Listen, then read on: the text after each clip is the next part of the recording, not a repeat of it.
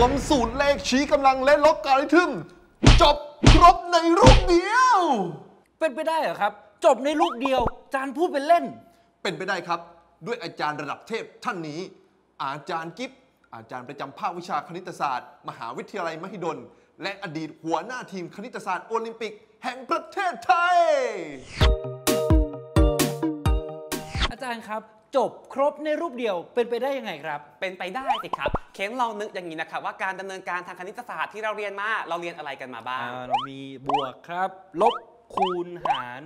หนักกว่านั้นอ่าโตมันก็มียกกำลังครับยกกำลัมีง เลขยกกำลังครับ ใช้แล้วครับ ทีนี้สังเกตนะครับว่าการดำเนินการที่เราเรียนมาเนี่ยมันจะมากันเป็นคู่ๆแล้วมันก็จะตรงกันข้ามกันไป บวกก็จะตรงข้ามกับลบ คูณตรงข้ามกับหาร ทีนี้อะไรเอ่ยที่ตรงกันข้ามกับยกกำลังครับ อ่า ยกกำลังถอด square square root ครับ square root ใช่แล้วบางคนเนี่ยอาจจะตอบ root บางคนอาจจะตอบลบไม่เป็นไรเดี๋ยวผมเขียนไว้ 2 อย่าง เอกลักษณ์ expo มันจะเป็นอย่างนี้นะครับ มันจะเปลี่ยนการดำเนินการพวกเนี้ยไปข้างหน้า 2 step ครับถ้าผมมี a ยกกำลัง m บวก n ครับมันจะเท่ากับอะไรจำเอกลักษณ์ได้ไหมเอ่ย a กำลัง m คูณ a กำลัง n ครับ ใช่แล้วครับ มันจะเท่ากับ a กำลัง m คูณ a กำลัง n เห็นไหมครับ เอกลักษณ์ expo มันจะเปลี่ยนการบวกตรงเนี้ยให้เป็นการคูณไป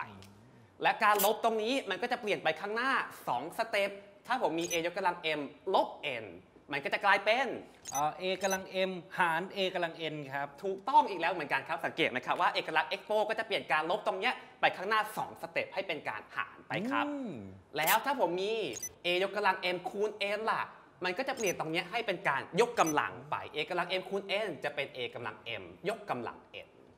แล้วก็อันสุดท้ายเนาะ ถ้าผมมี a กำลัง m หาร n มันจะออกมาเท่ากับ รากที่ n ของ a กำลัง m ครับ ถูกต้องครับ สังเกตไหมครับว่าเหมือนเดิมนะ มันจะเปลี่ยนการดำเนินการตรงเนี้ยไปข้างหน้า 2 สเต็ปนะครับ มันจะเปลี่ยนการหารให้เป็นการถอดรูทไปแทน a กำลัง m ส่วน n จะกลายเป็นรากที่ n ของ a กำลัง m ไป แล้วก็ไม่ใช่แค่นี้นะครับ แผนภาพตรงเนี้ยก็สามารถบอกเอกลักษณ์ล็อกได้ด้วยเหมือนกัน แต่ว่าล็อกเนี่ยมันตรงข้ามกับ expo เนาะดังนั้นเราก็จะเดินถอยหลังมา2ก้าวแทน ถ้าผมมีล็อกฐาน a ของ m คูณ n นะอะมันจะเท่ากับอะไรเอ่ยอ่าล็อก m ฐาน a บวกล็อก n ฐาน a ครับ ถูกต้องอีกแล้วครับ สังเกตไหมครับว่า เอกลักษณ์ล็อกตรงเนี้ยมันจะเปลี่ยนการดำเนินการ มันจะเปลี่ยนการคูณถอยหลังมา 2 สเต็ปกลายเป็นการบวกไปแทนล็อกของ m คูณ n จะเป็นล็อก m บวกล็อก n เนาะแล้วก็เหมือนเดิมนะครับ ถ้าผมมีการหารล็อกฐาน a ของ m หาร n เนี่ยมันก็จะออกมาเท่ากับอ่าล็อก m ฐาน a ลบล็อก n ฐาน a ครับ ใช่แล้วครับ โอเคนอกเหมือนเดิมนะครับ ว่ามันจะเปลี่ยนการหารตรงเนี้ยให้เป็นการลบไป ล็อกมันจะเปลี่ยนการยกกำลังให้เป็นการคูณไปแทน ถ้าผมมีล็อกฐาน a ของ m กำลัง k เนี่ยมันจะออกมาเท่ากับผมเปลี่ยนการยกกำลังตรงเนี้ยให้เป็นการคูณได้ ผมดึงกำลัง k ตรงนี้มาคูณข้างหน้าครับ มันจะเป็น k คูณกับล็อกของ m ฐาน a ไป